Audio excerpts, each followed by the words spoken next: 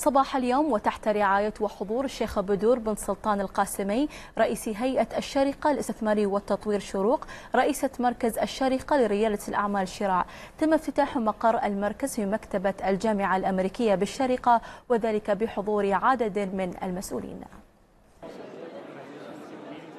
استكمالا للمشاريع التنموية التي تشهدها الإمارة افتتحت الشيخ بدور بن سلطان القاسمي رئيسة هيئة الشارقة للاستثمار والتطوير شروق ورئيسة مركز الشارقة لريادة الأعمال شراع. المقر الرئيسي والجديد لشراع الذي اتخذ من الجامعة الأمريكية بالشارقة مقرا له من أجل خلق بيئة حاضنة لريادة الأعمال ودعم الشباب في هذا القطاع. اليوم بوجود رواد الأعمال واللي معنيين في ريادة الأعمال. كلهم موجودين اليوم على أساس نتكلم عن كيف ممكن نطور شبكة ريادة الأعمال في الشارقة أو في مدينة جامعية وخصيصا للشباب. شو محتاجين؟ شو شو المراحل؟ شو كيف ممكن نخلي الوصل ما بين الجامعات وسوق العمل تكون مرحلة سهلة؟ فمركز شراع إن شاء الله نبغى نتبني هالأفكار نبغى نطورهم نبغى نمكنهم نبغى نثقفهم ونبني جيل قيادي في ريادة الأعمال.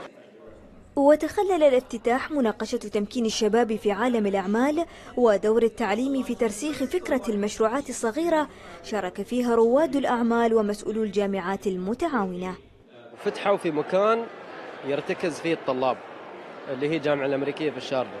لكن الناس هم يتحرون مش مفتوحة للجامعات الثانية بالعكس نحن مثل مركز مفتوح مفتوحين لجميع الجامعات أو لجميع الشباب اللي مجرد عندهم فكرة أو أو أو مشروع. مركز شراع أنا أعتبر أول مركز في الإمارات اللي يقدم فرصة حق الشباب إنه إذا عندهم أي فكرة ولا شيء حابين يسوونه هو بيدعمهم من البداية للنهاية.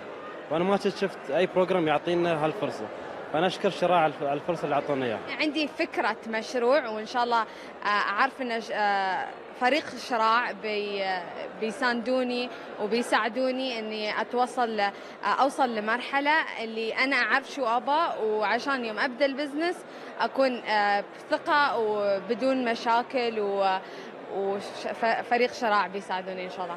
يمثل مركز شراع إحدى مبادرات هيئة الشارقه للاستثمار والتطوير شروق نقطة البداية للجيل القادم من المبتكرين الشباب ورجال الأعمال المستثمرين كما سيشكل نقطة الوصول للمكان الأنسب لأي شاب يطمح لأن يرى مشروعه النور ويصل إلى العالمية